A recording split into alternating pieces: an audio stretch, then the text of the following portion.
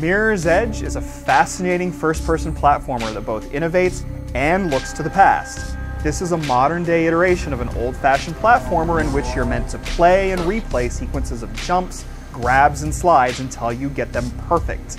But unlike its ancestors, Mirror's Edge is all about speed and momentum. And when you can connect your moves in a flawless stream of silky movement, it's really thrilling.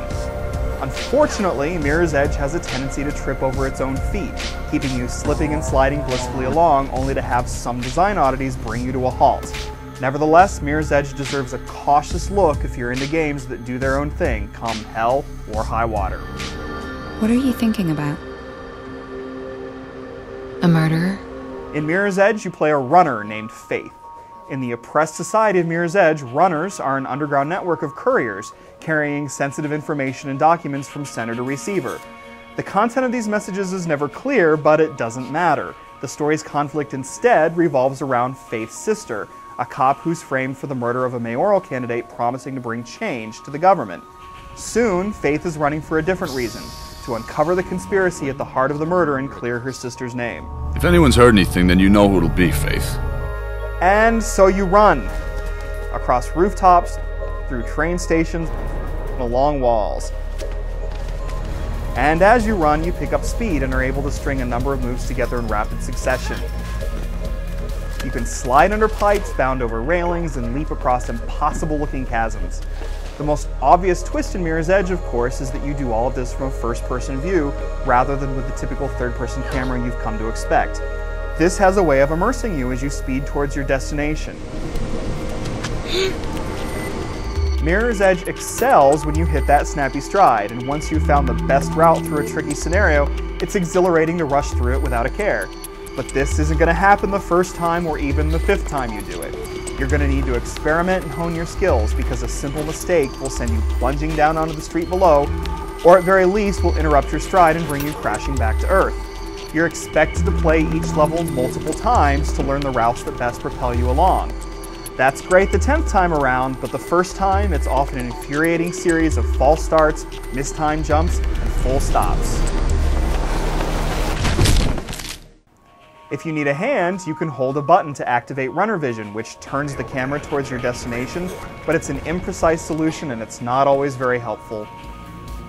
Another inconsistently helpful tool comes directly from the game's impressive art design. Mirror's Edge is a game of visual contrasts in which stark white environments contrast with primary colors. It looks beautiful and clean, and it's a great way of demonstrating both the bleakness of an authoritarian society and the unique manner in which a runner would see the world. Important ramps, doorways, ladders, and other points of interest are painted in a vibrant red, which is an important visual cue in some of the broader levels. However, this element too is delivered inconsistently. In some cases, the red hue may not fade in until you're close to the pole or vaulting point in question, and in some cases, Mirror's Edge expects you to figure things out on your own without any assistance whatsoever. For a game that relies on so much forward momentum, Mirror's Edge has a way of bringing the pace to a halt. In some cases, this is the very nature of trial and error gameplay. Fall, die, reload checkpoints. At other times, it's because you're faced with an intricate jumping puzzle. The puzzles aren't bad, but they're not particularly engaging either. You're more likely to feel relieved when you reach your destination rather than fulfilled. Or you'll be zooming along only to find yourself in an elevator reading the news crawl on the wall's electronic panel while the level apparently loads in the background. In all of these cases, the game tears you from the story, reminding you time and time again that this is, after all, just a game. Armed enemies further complicate matters. It's best to run right past them when possible, but their bullets have a way of bringing you to your knees as you rush around looking for the best escape route. You can confront the threat head on in some cases, but it requires careful planning and excellent timing. You can perform some close combat moves like jump kicks and punches, or disarm an enemy with a quick time event. If you want to hold on to the weapon, you can fire off a few shots, but the gunplay is loose and unfulfilling.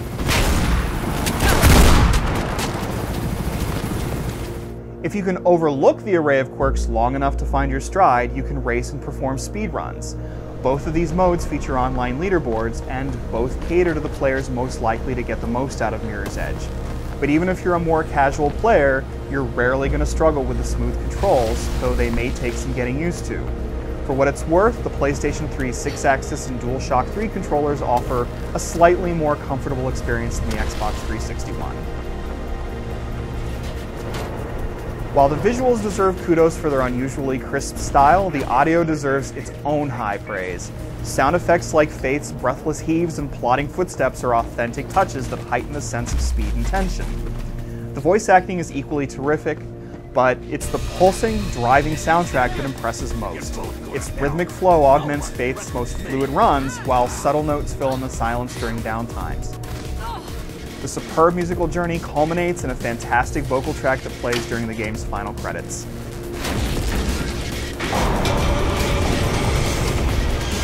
Mirror's Edge is many things invigorating, infuriating, fulfilling, and confusing. It isn't for everybody, stumbling often for a game that holds velocity in such high esteem, but even with all its foibles and frustrations, it's bound to strike a chord.